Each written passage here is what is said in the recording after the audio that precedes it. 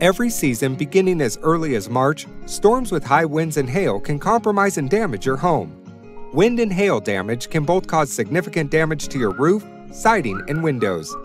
If your home has been in a moderate to severe storm, Liberte Construction is a local storm damage restoration contractor that can help you.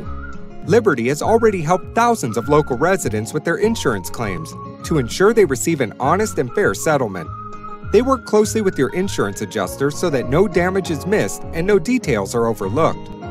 Beware of storm chasers coming from other states that are here one month and gone the next. They try to make a quick buck by offering low quality products and faulty workmanship.